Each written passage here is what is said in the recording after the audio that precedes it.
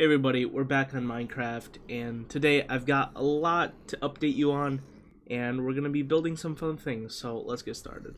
So I should probably update you first on what I've been doing, and that is just a whole lot of grinding. Mainly, I've been grinding the fishing farm, and obviously I'm right next to the mob farm, so basically both close to 50 to 60 hours, probably. Now, obviously, I left my computer AFK. I didn't stay in here for 60 hours. But I should probably show you what I got and then uh, kind of show you what I did with the farm. There's also been a lot of work underground also, which we'll check out. But yeah, this is just a portion of the books that I got. So we got one entire double chest, two entire double chests, three entire double chests. Of, these are all enchanted books.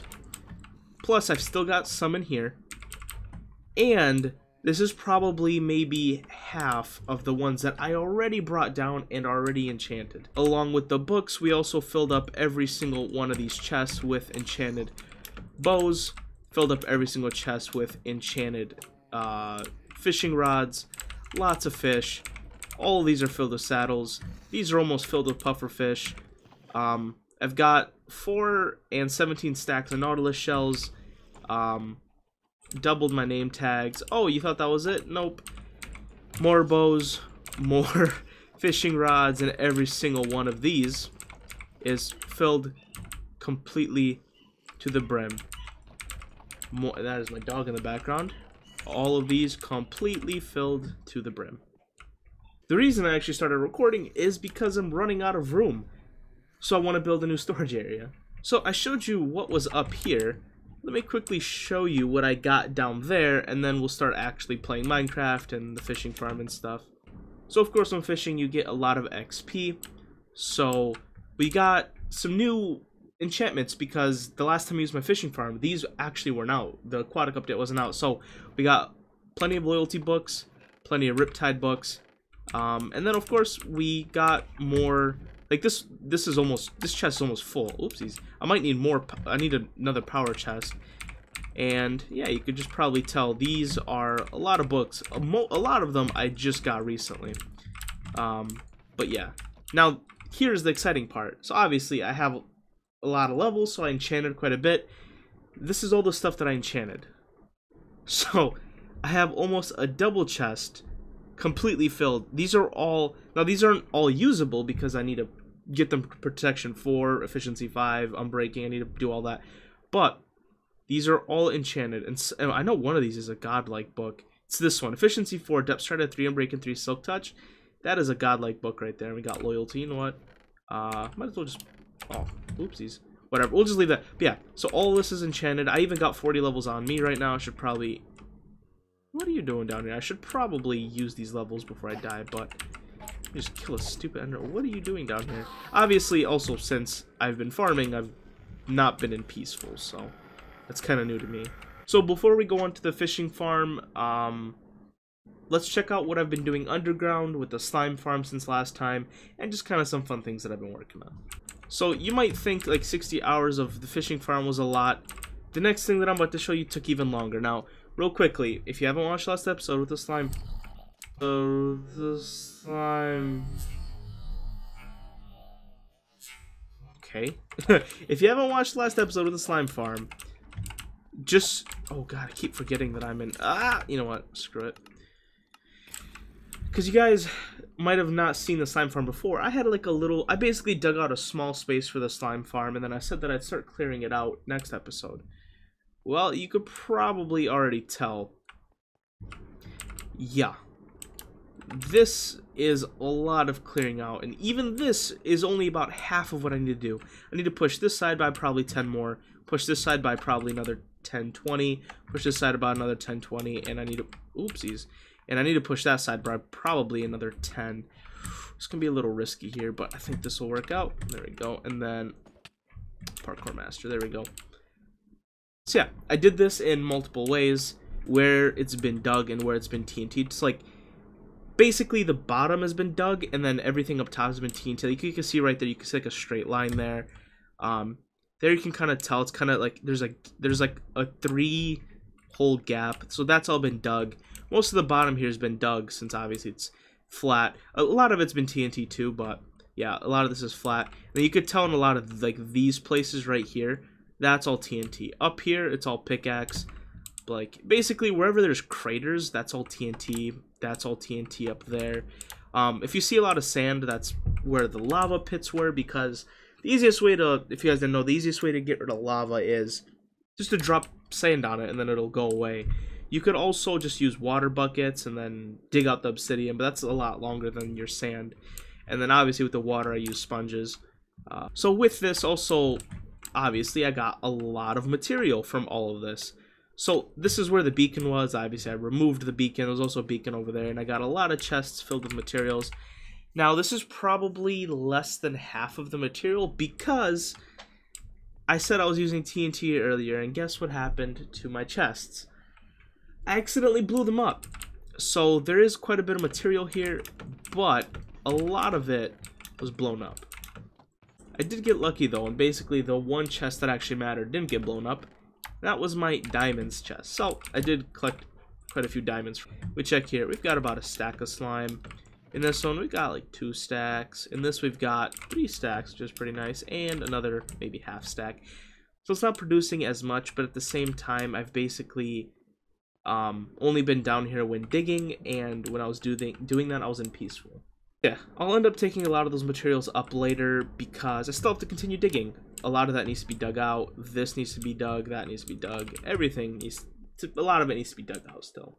And I'm just going to show you guys some just funner things that I've been working on for no apparent reason. I just thought it was interesting. So, when farming up there, I showed you guys the amount of bones and sulfur and stuff that I got. Um, but I also got quite a bit of arrows. So, I don't know why, but I just built this thing where it just shoots arrows from top, bottom, like every single side, and it shoots a crap ton of arrows. Why? I don't know. But I can tell you, I had like five, six double chests of arrows, and that wasn't even enough to fill all of it. Uh, but I got quite a bit more, so I'll probably bring more. And I need some redstone. And while I'm getting the redstone, I did forget to mention that uh, I did work on armor. I, the one thing that I really lacked so far is armor. So I, I worked on getting more of the armor upgraded, and even some of the armor that was down here, I actually put back up here because I didn't think it was worthy. And I upgraded the crap out of my own armor. So every single one of these has mending on it, so I basically never have to replace it unless uh, I drown in lava or fall off the void. So yeah, it has feather falling, frost, protection, everything, mending, protection, respirate. So my I've got a pretty godlike set of armor, and yeah, fixed up a lot of my tools. Got myself a godlike fishing rod, which is also very nice. I find this really cool, and what I might do is I might take this and expand it to like make it really long, and even maybe more arrows if I can find an easier design. Before I show you guys, I should actually show you probably how it works. So it's pretty simple. Um, I have on every single side kind of like this uh, checker pattern yeah, so the easiest way I found, but I didn't work on this very long and I was probably super tired, but a checker pattern and then just using torches to go up and down, up and down uh, on each of these. And you can just see like one repeater going to each of these, uh, each of the dispensers. And then I use, and also another reason I use the torches because I wanted the back side open so I could place hoppers to feed it more arrows. Now the top and the bottom doesn't have these hoppers, but for the top I just laid on some redstone, which is fairly easy and let me get to the bottom here. And at the bottom I did the same thing basically and just like uh, put the repeaters around the sides. Not a very like 200 IQ build. Just redstone. But let's go ahead and hook this up. And you can see arrows will start firing pretty quickly. And it's nice that they don't all fire at the same time um because that'd be kind of boring. You can kind of see like a lot of arrows going on. This is, this is basically some like indiana jones stuff right here and it'll just keep going and going and going. And it's kind of fun to run through it because like you'll start getting hit. And yeah, um, this uses a lot of arrows. Just imagine, guys, there's probably like 20 plus dispensers on each side. Ouch, ouch, ouch, ouch. 20 plus dispensers on each side, and they're all shooting one. See, my literally my entire inventory is already filled with arrows. So I've shown you guys what I've been doing underground, kind of the fun things that I've been working on, and the absolutely insane amount of grinding that I've been doing. Um, so today, what we're going to be doing is showing you the new fishing farm. Um, and then we're going to be trying to get ourselves a trident. That one episode where we first went out and explored, uh, we ended up getting a trident, but I keep kept losing it because I didn't have loyalty on it. Uh, so we're gonna go ahead and um, I hate when it does this. My Frostwalker keeps freezing my thing. Uh, but this time we're actually gonna go get um, a trident and try to keep it. But first, I'm gonna show you guys a fishing farm and how to build it. So this design is by uh, Xisuma Void. Uh, I think it's one of his latest fishing farms. It's the 1.13 fishing farm. Uh, if you if you're curious, just literally type in Minecraft fishing farm uh, Xisuma Void, which is X I S U M A uh, Void, and you'll probably find it now. I'm actually like really early game friendly. There is not a lot to do with it. Let me get my fishing farm out. So this is the entire fishing farm right here. Basically, all you need is an iron door and some hoppers, and you've basically you're basically good on this. So how it works, you just stand in this corner over here, so the leftmost corner, and then you aim down here at the frame. You want to get it like at the corner of the frame where it doesn't move like this. So the second an item will pop up, the item will go down in the hopper and it'll recast the fishing. Okay, I, lo I love how the second I'm recording, this just takes absolutely forever. This should happen in a second here. Hopefully, there we go. You can see, so I got an item and it just recast it again. And you just sit here forever. And in my case, I also have my quadruple mob farm above me. Uh, so I ended up just farming both, like both types. And that really helps because you can see down here, there's a bunch of mob drops from the mob farm. But there's also mixed in here drops like uh, the enchanted books, arrows, stuff like that. And I, need, and then I do need to take these books back down because you can see there's a lot of good stuff in here. A lot of loyalty, a lot of riptide. Um, hopefully some mending. Not as much. Oh, there's a mending right there. But yeah, let's quickly build the fishing farm. Now, for once in my life, I'm actually not going to follow tutorial. I'm going to completely try to do this off the top of my head. Okay, so I'm just going to assume that most of you are probably early game, so you don't want to build it in some weird spot like I did. It's easiest to actually build it inside the ground. And you know what I'm going to do? Just a challenge. I'm going to show you just how compact it is. I'm literally going to build it in this little crevice right here. That's how basically it is. Easy it is. So uh, okay.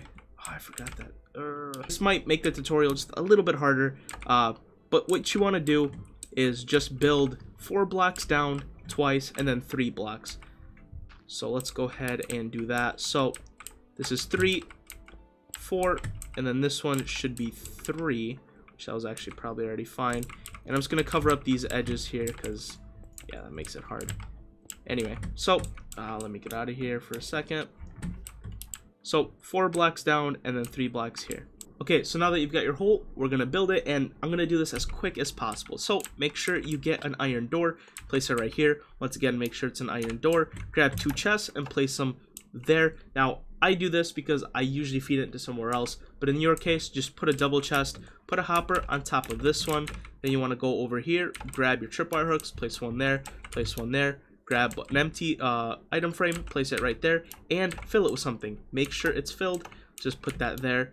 Grab one ladder, place it right there. You can grab your water, place it on top of this hopper, then take your string, connect uh, these two right here, and that's it. The farm is done. So finding your storage is kind of your own deal. You you figure out where you want your items to go. Uh, the one that I did up there, I just placed the hopper and fed it all the way to my chest system. And once again, if you want to use it, all you got to do is go in here in this corner and kind of a little bit behind the door, find the corner, and you're just going to have to find a sweet spot um, to where your fishing rod stays just like how it is right now. And then it'll catch an item and throw it back.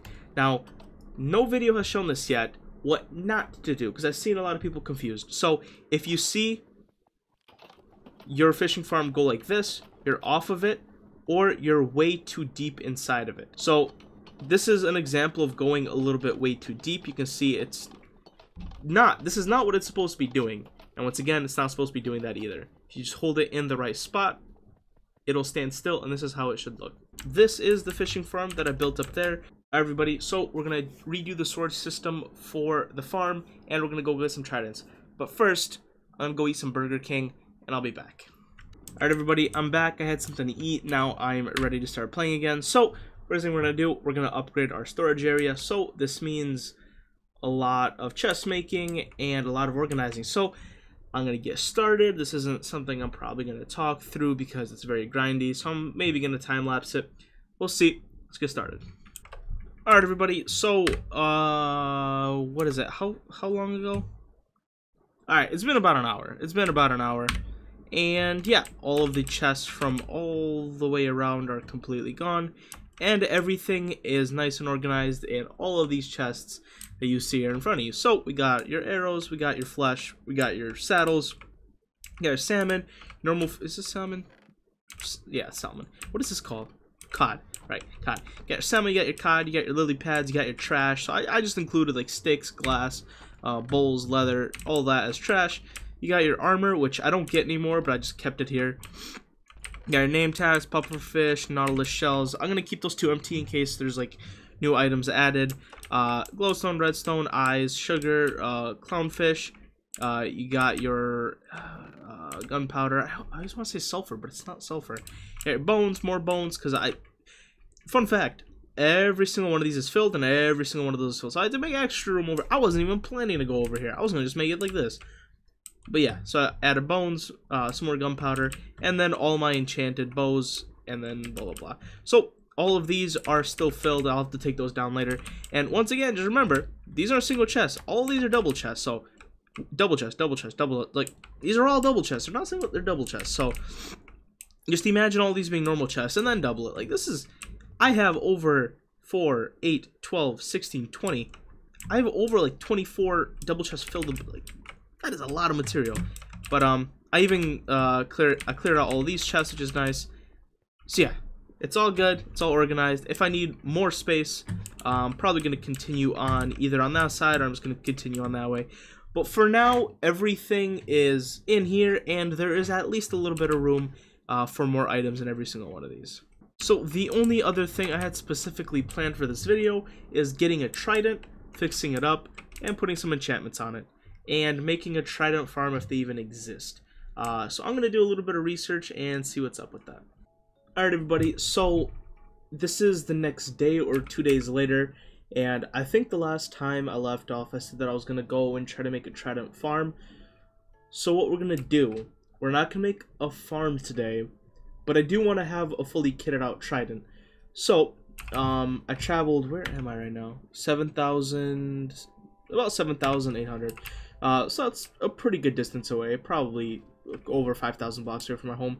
So obviously, I need to try to, they're dropped from the drowned, and yeah, that's where I'm at right now. I'm at the ocean right now, and I'm just farming them. I've been here for quite a little bit farming them, um, and I finally got one. So I got a trident, and now you guys might be wondering, well, what's a single trident, like, what's the point of that, because it's going to break. Um, you guys got to remember, we can put mending on this, and I have quite a few mending books from the fishing farm. So what I'm going to make sure to do is put mending on this boy, and then I'm going to go ahead and restore it to brand new. Obviously, we're going to put things like loyalty and riptide on it, and we're going to have ourselves a fully kitted out trident. And yeah, that's what we're going to do, and then we'll build a farm later. Uh, but for now, yeah, I didn't really want to put the farming on camera because that's really, really boring. Um, I might kill a few more John. I know I saw a couple down there. Uh, just for a couple more chances to get maybe a second trident. Uh, but for now, I think we're all good, and we're going to head back to the base and try to fix this one up. Alright, everybody, so we're back home. We got the trident, and I did get a few other things while I was out. Got a few Nautilus shells from, like, the zombies that carried them, or the drown that carried them, a few emeralds, a treasure map. Um, I'm not really too worried about any of this stuff, so what I'm probably going to do uh, just for now, actually, I'll just use a regular chest. I'm just gonna put this stuff in a chest real quick, and then I'll just sort it out later because I, I mean, I don't want to deal with that now. So uh, we got our trident. Let's go ahead and do some enchanting now. Here's the only issue. Um, I don't have many levels right now. So what we're gonna do, we're gonna just grab what we need. Uh, mending and loyalty. I think both of those need to go on there, so that's fine. Mending, Loyalty, Riptide. Um, let's go ahead and get a Riptide Unbreaking 3. I think that's... I think Unbreaking go, can go on that. And an Impaling. and we just need a normal impaling book. So that should should give us impaling, loyalty, riptide, unbreaking, and mending. So that'll be a fully kitted out um, trident. Now, I need to go get some levels, but luckily, if you guys remember a couple episodes ago, we built uh, that Ender uh, Pearl Farm slash XP Farm, and I did, and I'm, right now I'm trying not to smash my keyboard because you guys could probably hear that very well. Um, we did actually build an enchanting setup over there for the sole purpose that when we're there getting levels, we're going to want to probably enchant there instead of running all the way back here to enchant back and forth. So we'll be able to do it over there. Okay, we made it to the farm here. Now real quickly, let's see if 13 is enough to at least put mending on the thing. Uh, there's some anvils. Let's go ahead and put mending. Oh, we might... Okay, so that is 9. That's 5. 11. Okay, so we need to get 11, which we could... I could literally probably do in front of your eyes real quickly. Alright, slowly gathering levels. We're past 11, so we're good on that front. I'm just going to quickly heal up the trident itself. And it looks like we got a full restored trident. So, yeah, that is really, really cool. I'm really happy that the game added mending, because that helps this a whole lot. Bam, there we go. An impaling 4, unbreaking 3, loyalty 3, mending trident. Now, I wonder why, like, it's kind of weird how it doesn't show like that it's enchanted. It's kind of weird, but, um, Okay, so we got ourselves, we actually dropped that. We got ourselves a nice trident, and I'm going to go ahead and head back to the base. Okay, so, completely first time ever using this trident. Obviously, I've picked one up before, but I literally threw it and lost it that second. So it's going to be the first time actually playing around with this. So what can we do? We can attack with it. We can throw it. And it comes back if we right click again and then we right click. Wait, do we even need a right click? So when does it does it come back on its own? So okay, so it does come back on its own completely. Let's see how far that thing can go. Just impels and then and it just comes right back to us. Okay, cool. Now, I know this thing has some special things if you put it in water. Okay, so I googled some things and a little bit confused, but I think I know what's going on. We are missing one enchantment on this, which is channeling. Um, that gives it a special power during thunderstorms. I can apparently strike things with lightning. So, yeah, I don't know when that's going to happen, but I know I do have a few channeling books here. I do have some. So, oh, mending channeling. We could have used that, but I know the other book was just as fine too. Let's hope we have enough levels here. 11. Oh man, we're so close. Alright, there we go. We have put every single enchantment that we have. So, this is what I read off the internet. We're going to test a few of these. So, I'm going to explain every single enchantment. So, mending, obviously, when you get XP, it fixes it, its durability. Loyalty, um, that makes your trident come back when it's thrown. The higher the loyalty, the faster it does. Unbreaking 3, obviously it takes less durability. Impaling just does extra damage. I don't know if it's to a specific mob, but it just does extra damage to something specific. I know it's to something specific. And channeling in... Wait a minute, we don't have Riptide on this. But, anyway, so, and then channeling, it basically, you can strike things with lightning during a thunderstorm. But the reason I was kind of surprised I didn't have Riptide on here because somewhere on the, the, the wiki I read that Riptide tridents cannot be thrown because you're you're throwing yourself with it in the rain and in the water. Does that mean Riptide, Riptide, Riptide, Riptide? We can't put Riptide on it. Hmm. So that means... Hmm. So what I'm guessing that means is... Only Loyalty or Riptide can be put on it at one time. So, this Trident is good for being thrown, but it's not the Trident that flings me through water or rain. So, we're gonna need to get a second Trident. Okay, everybody, we're back after a while because I did have to go get a second trident because I did want to do it during this video. So, we got our normal one here, and I did end up getting a second one, and I only put Mending, Riptide, and Unbreaking on it. So, I am kind of curious. Am I able to put Loyalty on it? Um, I'm guessing I can't, because see, I have Riptide, and it can't be thrown. Uh, let's just put Loyalty book. Can I put this on here? See? No, I can't. Okay, so that is confirmed. You can only have Loyalty or Riptide. So this one is a Riptide, this one is one that can be thrown. Now, I do want to see how I can launch myself through water, and apparently the rain. So let's go ahead, grab ourselves an Enderbolt. Now let's go ahead and go... Okay, that wasn't very good. Let's go back to the castle, and... Man, I'm going way too far. I didn't even need to go that far. I just needed to get to the water. Let's go to the water here, and let's see if that's how it works. So if I channel myself, ooh, I can run through the water. Okay, so that is true. That's kind of cool. And apparently, if it lightning storms, we can, um, yeah, strike things with lightning. So that's kind of cool. So I'm going to go ahead and get out of here. Um, Alright, so later in the series, probably, we will build be building a trident farm. Uh, for now, though, I've got two tridents, one with Riptide, one with uh, Loyalty, so I have one of either. Now, I do want to go test out how I can fly through the rain and the whole thunder thing, but obviously, I have to wait for rain, and I'm too impatient to do that. So what I'm going to do, we're going to quickly go to a creative world, and just so you guys can look, and then we'll probably finish off the episode.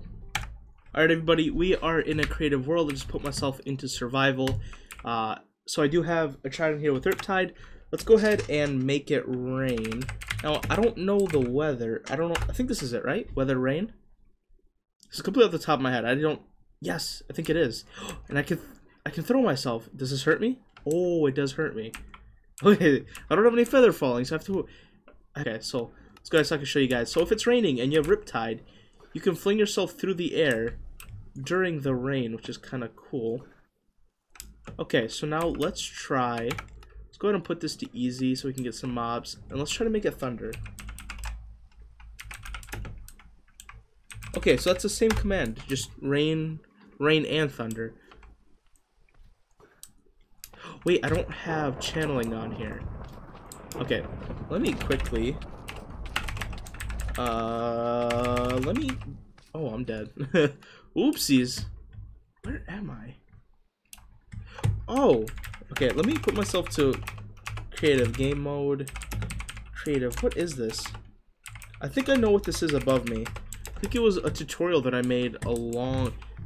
I made this tutorial years ago, I think, of the, like, self-destruction house. A little bit like so you know screw it i don't care anymore. This could be like a little preview into my non Aqua's adventure. But yeah if i step in here i think yeah that closes up and these fireworks are supposed to kill you.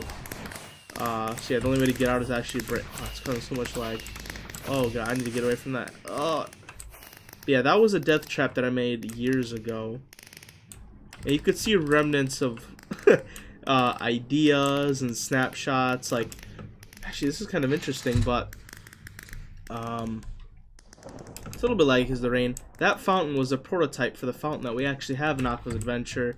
This was an idea of like top 10 things you could do with TNT. Uh, over there was a video for a snapshot when those blocks got added. Uh, but anyway, uh, let me go ahead and get one with channeling.